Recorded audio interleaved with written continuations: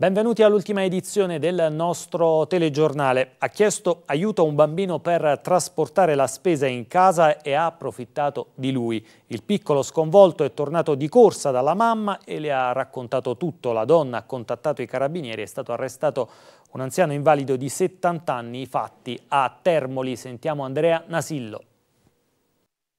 Farsi aiutare a portare la spesa in casa, la scusa per appartarsi con un bambino di circa 10 anni e per abusare sessualmente di lui. Sarebbero questi fatti avvenuti alla periferia di Termoli. I carabinieri hanno arrestato un anziano invalido. La vittima è un bambino che è riuscito a scappare sconvolto e tornato dalla mamma e le ha raccontato tutto. La donna ha contattato subito il 112, immediato l'intervento dei carabinieri che hanno raccolto utili elementi investigativi, riscontri effettivi. L'anziano è agli arresti domiciliari sono stati i militari di Termoli, coordinati dal procuratore di Larino Isabella Ginefra, che sta seguendo personalmente il caso, a individuare l'uomo nel quartiere dove vive, in una zona periferica della città. Il bambino è tornato dai genitori tra le lacrime e sotto shock. La procura di Larino ha attivato senza esitazione gli accertamenti info-investigativi e poco dopo, al termine di un'indagine lampo, l'anziano è stato identificato e fermato per violenza sessuale su minore. Parliamo ancora delle indagini sulla scomparsa e sul ritrovamento della piccola Nicole. Nuovo sopralluogo ieri degli investigatori nelle campagne attorno alla casa della bambina a Sant'Angelo Limosano. Alcuni agenti della polizia hanno perlustrato campi e boschi nei quali avrebbe camminato la piccola di 5 anni prima di essere ritrovata a scopo degli accertamenti e verificare se i fatti siano accaduti davvero così come riferiti al momento della sparizione della bambina e ancora subito dopo il eh, suo ritrovamento. Intanto il nonno materno di Nicole ha ribadito ancora una volta che non crede a un allontanamento volontario della nipote. Ripeto quello che ho detto dalla prima sera, ha affermato la bimba potrebbe essere stata presa da qualcuno, non poteva farcela da sola a percorrere tutta quella strada. Su chi potrebbe aver eh, preso la bambina, l'uomo invece risponde io eh, non ho avuto minacce per quanto riguarda mio genero e la sua famiglia di loro non so. Veniamo adesso al consueto aggiornamento sull'andamento del contagio in Molise. L'ultimo bollettino dell'ASREM con i dati Covid registra un calo dei contagi e del tasso di positività. Intanto, secondo il monitoraggio settimanale dell'Istituto Superiore di Sanità, il Molise resta a rischio moderato. Anna Maria Di Matteo. Sembra cominciare a scendere, seppur lentamente, la curva del contagio in Molise. La conferma arriva dall'ultimo bollettino ASREM che riporta 180 nuovi positivi sui 1818 tamponi processati con il tasso di positività che scende al 9,9%. Un segnale incoraggiante dunque dopo settimane di casi in costante crescita.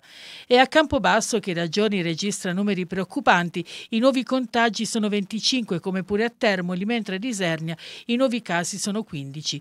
Questi sono i centri maggiormente interessati dal virus e nei quali appunto si registra una flessione dei contagi.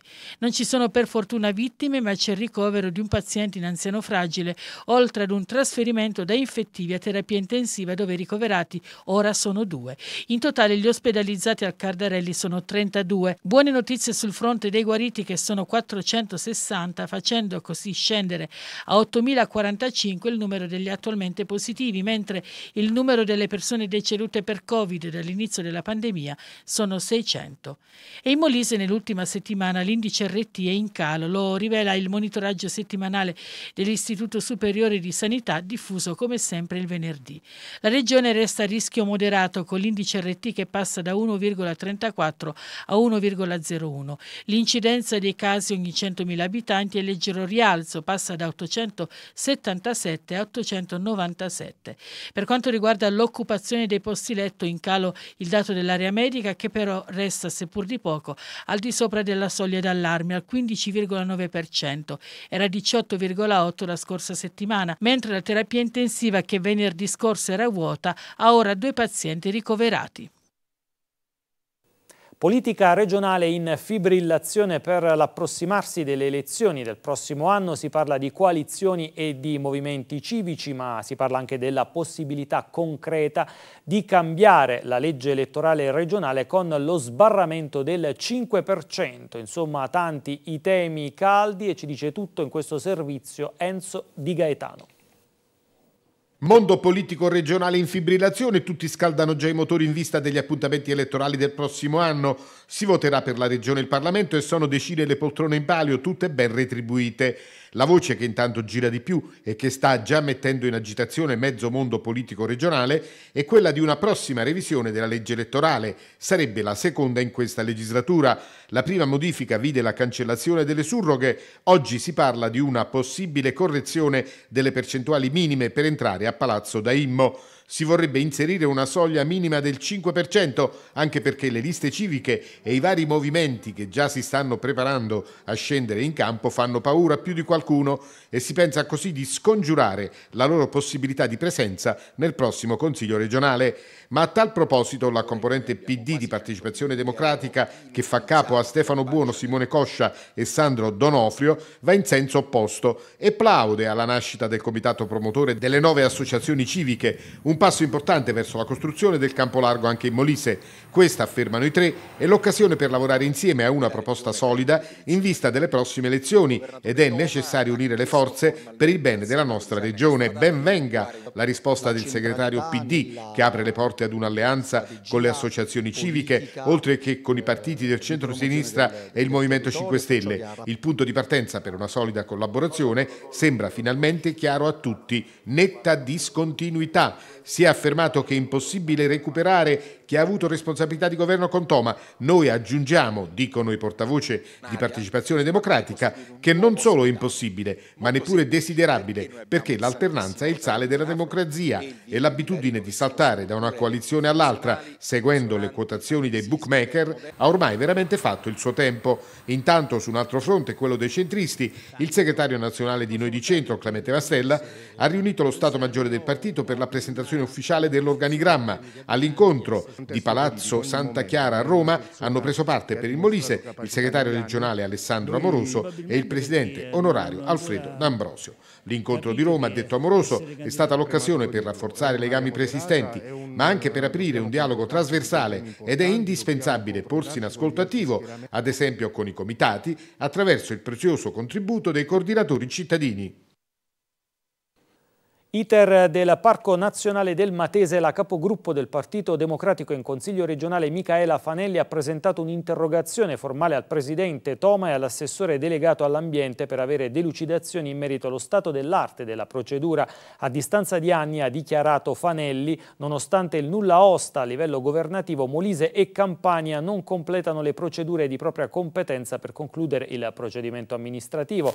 Questo eh, ha già determinato la perdita di una serie di di finanziamenti per i parchi nazionali con il rischio di eh, disperdere anche quelli disponibili con il PNRR. Sempre il capogruppo del PD alla regione Fanelli rende noto che dopo l'azione di sollecito l'Agenzia delle Entrate ha aggiornato il modello di comunicazione per la fruizione del credito d'imposta e per gli investimenti nel mezzogiorno. Fanelli ha sottolineato che eh, prima l'agenzia non aveva modificato il modello e questo eh, avrebbe potuto rappresentare un enorme problema per il Molise. Si faccia ora una seria e capillare campagna di marketing territoriale, ha concluso la capogruppo del PD in Consiglio regionale per attrarre nuovi investimenti verso la nostra regione.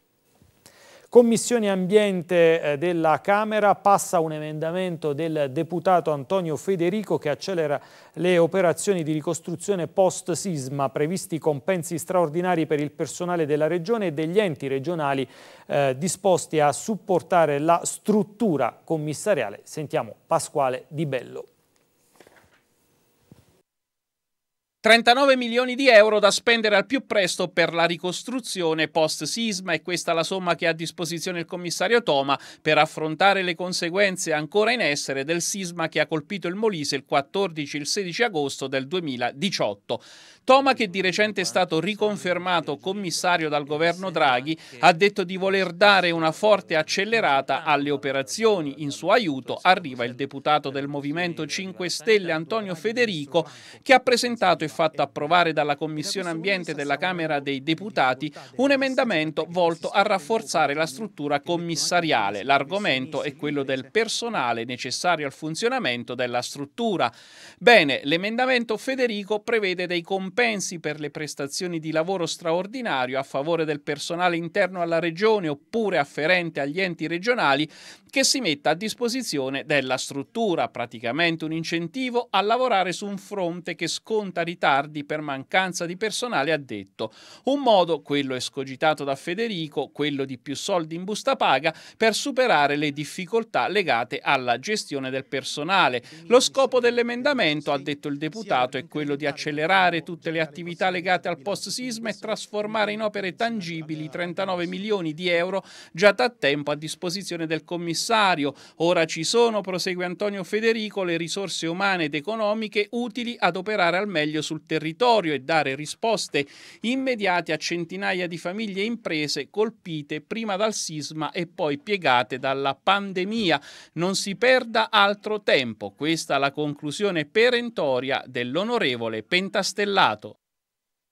Si è riunita la conferenza dei presidenti dei gruppi consiliari in regione. Il presidente Micone ha deciso di convocare per mercoledì 13 aprile alle 16 la seduta del Consiglio regionale per l'esame del documento di indirizzo strategico regionale per la programmazione della politica comunitaria di coesione economica e sociale 2021-2027 per la sostituzione dei componenti eh, dimissionari della Commissione eh, per la parità e le pari opportunità della regione. Edilizia, costi alle stelle per le imprese con eccezionali rincari dei materiali e dell'energia. L'Ace Mance scrive agli enti appaltanti della regione fermare i lavori e aggiornare i prezzi altrimenti le imprese collassano, ha detto il presidente degli edili Corrado Di Niro. Sentiamo.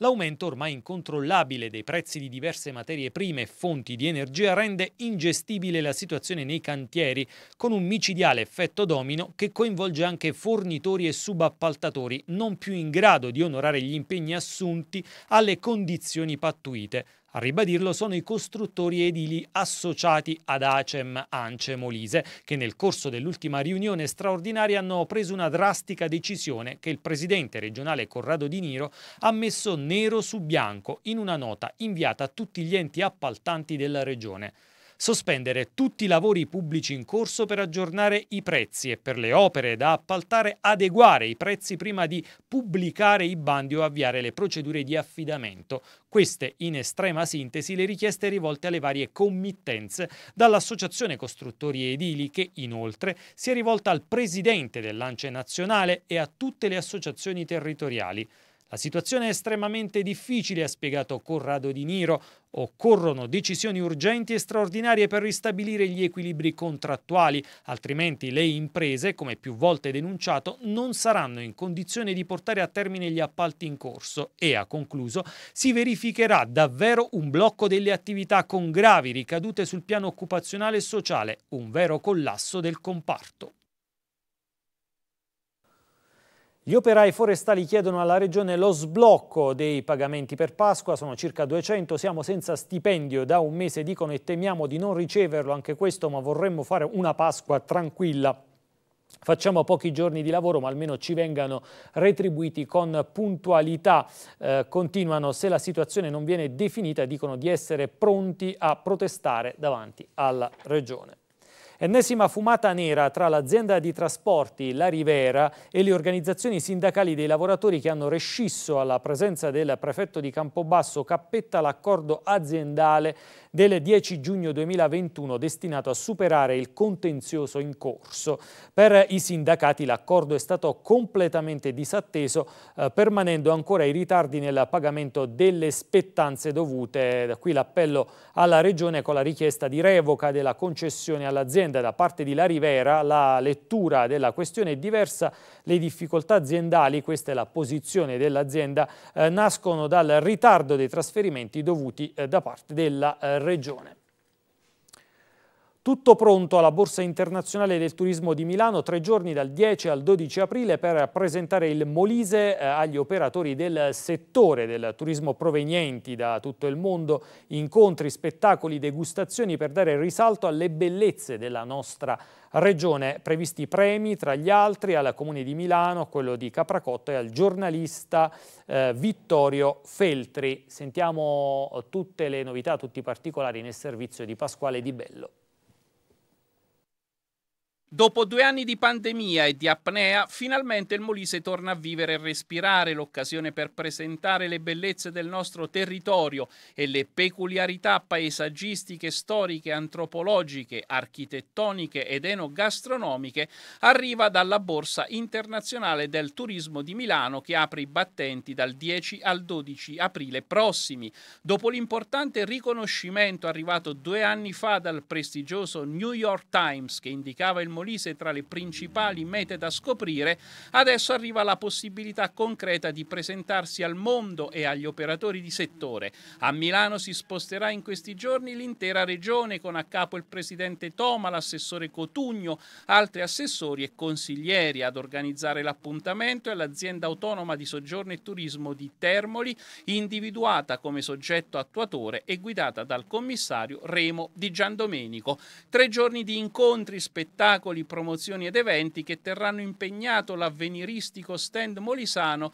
e vedranno la presenza di numerosi ospiti, tra i quali il sindaco di Milano Beppe Sala.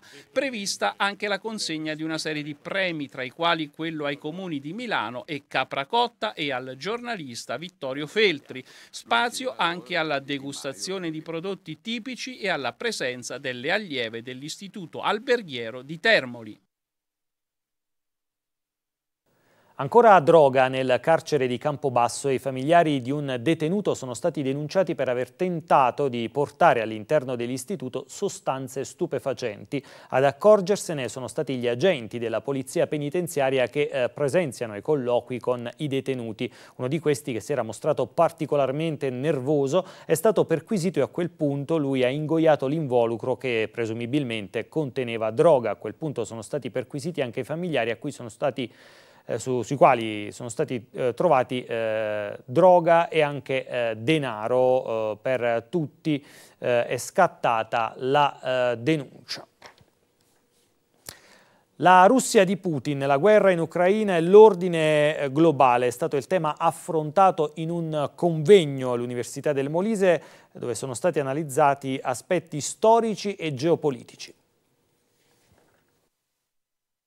Le immagini che arrivano dall'Ucraina stanno scioccando il mondo. Città devastate dalle bombe, cadaveri nelle strade, fosse comuni, testimonianze, poi di stupri, esecuzioni sommarie. La storia si ripete, tragica, ancora morti, ancora una volta. La guerra a sconvolgere il mondo. All'Università del Molise il Dipartimento Giuridico con il professor Fabio Serricchio ha organizzato un incontro di riflessione sulla Russia di Putin, la guerra russo-ucraina e l'ordine globale. Diversi gli interventi per approfondire il tema da un punto di vista storico, geopolitico, alla luce anche di dinamiche economiche giochi di forza. L'idea era quella di rivolgerci ai nostri studenti ma anche agli studenti delle scuole superiori per offrirgli degli strumenti per interpretare una situazione molto complessa. C'è uno Stato sovrano che ha aggredito un altro Stato sovrano, la Russia che invade l'Ucraina c'è appunto una guerra, ci sono uh, delle stragi di civili, tutto è cronaca, ma insomma le, eh, vedremo nel tempo uh, cosa sta effettivamente accadendo.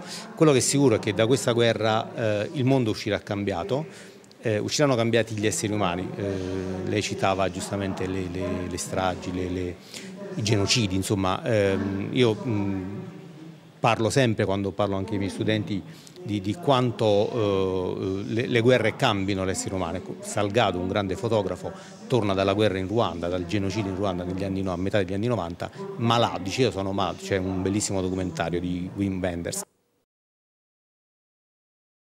I pescatori termolesi ripuliscono il mare dai rifiuti. Entra nel vivo il progetto Sea Cleaners, eh, consegnati a tutti i proprietari delle barche le attrezzature per proteggere la biodiversità e gli ecosistemi marini. Andrea Nasillo.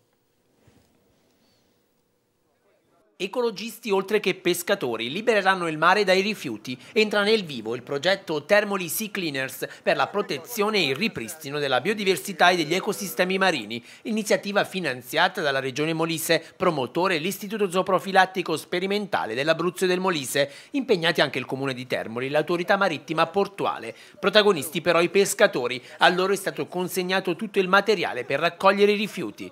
Dalla presentazione dalla progettazione, oggi passiamo ai fatti. Si inizia con eh, la consegna del materiale per fare in modo che tutta la marineria, tutti i pescatori possano eh, realizzare il progetto e quindi raccogliere il più possibile e togliere più plastica possibile dall'ambiente. La biologa Giuseppina Mascilongo, responsabile scientifico del progetto, sta completando i protocolli operativi con i contributi di Paola Marinucci dell'Associazione Armatori Pesca del Molise, di Domenico Guidotti di Federco Pesca e di Agostino Defensa dell'Agci Pesca, protocolli utili alla formazione dei pescatori. Oggi vengono consegnati i mastelli da tenere a bordo per eh, portare, riportare l'immondizia a terra, eh, vengono consegnati i dispositivi premiali, gli incentivi che sono un tablet per il geoposizionamento delle reti fantasma e ehm, un'elettrosega per tagliare tutti i tronchi che spesso e volentieri si impicciano nelle reti, si incagliano nelle reti e quindi loro eh, sono costretti a tagliare i tronchi per poter liberare la rete. I rifiuti per lo smaltimento finiranno in sei scarrabili per plastica, vetro, reti e funi da pesca, legno, ferro e indifferenziato in un'area concessa dal comune di Termoli. I pescatori contribuiranno come tanti cittadini, ma soprattutto loro in particolare, eh, nel, eh, nel, far sì che il nostro mare sia sempre più pulito, di riportare a terra i rifiuti che spesso rimangono impigliati nelle reti e quindi un amore per il mare visto che il mare è la loro vita. La tutela dell'ambiente sempre un caposaldo.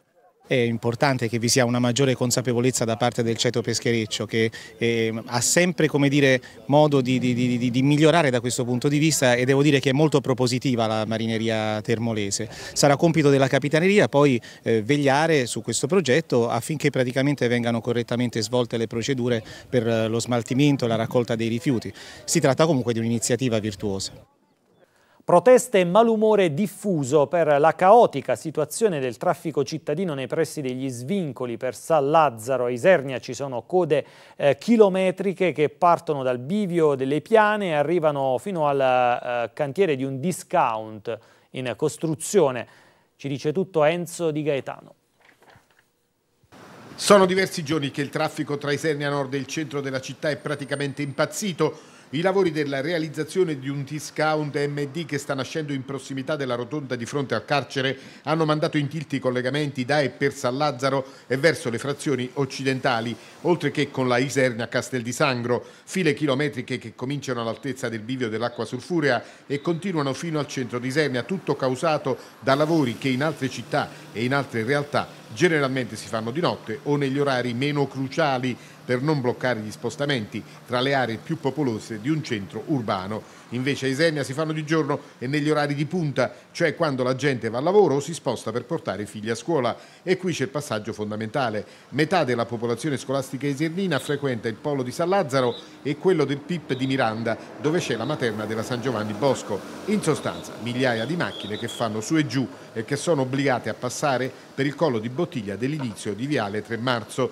dove c'è una sola corsia disponibile, visto che l'altra è perennemente occupata dai mezzi del cantiere. Finalmente, dopo le proteste arrivate da tutte le parti, lo stesso assessore alla Polizia Municipale Domenico Di Baggio, insieme ad una pattuglia di vigili, ha presidato il punto cruciale, ma alla fine ha dovuto prendere atto delle difficoltà ed ha fatto togliere i mezzi, liberando entrambe le corsie. Una soluzione momentanea, ma dal Comune garantiscono due cose, che i lavori finiranno entro domenica perché il discount aprirà lunedì e che ci sarà un'ordinanza che obbligherà il discount a effettuare le operazioni di scarico della merce solo nelle prime ore della mattina.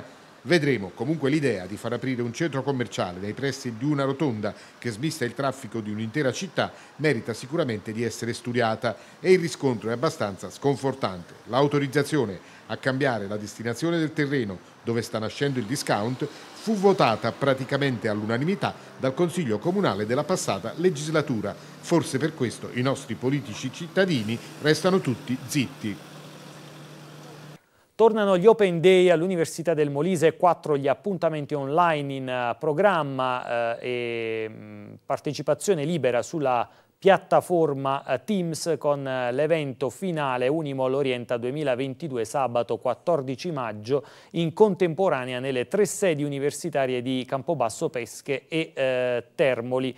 Un programma di eventi misto dunque nel quale docenti e studenti insieme con la partecipazione di laureati e testimonial presenteranno l'intera e dettagliata offerta formativa dell'Unimol. Questo è il calendario, martedì 12 aprile dalle 9 alle 10 area della salute, mercoledì 20 20 aprile dalle 9 alle 10 area scientifico-tecnologica, martedì 3 maggio dalle 10 alle 11 area economico-giuridica, martedì 10 maggio dalle 11 alle 12 eh, area umanistica.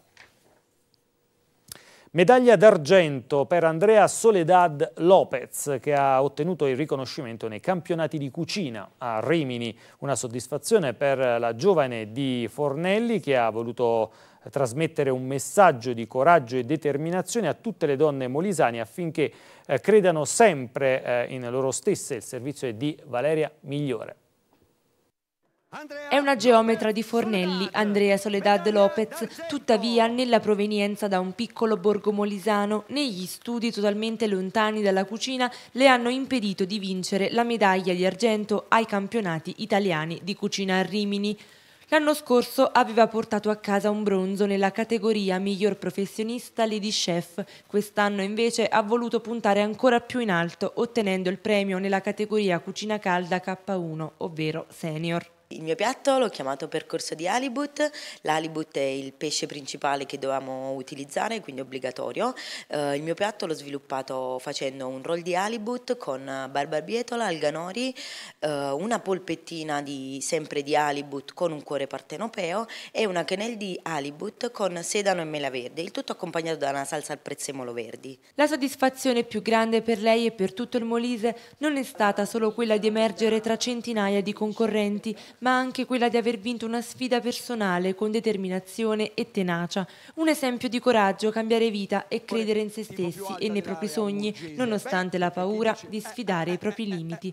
Che cosa si è portata a casa? Una competizione eh, comporta ritornare a casa con, eh, con, tante nozioni, con tante esperienze, con, um, al di là del, del, lavoro, del piatto che è veramente, non dico una, a una percentuale bassa, ma è veramente relativo, torni a casa con, uh, con, ricca di sapere, ricca di conoscenze, ricca di confronti soprattutto.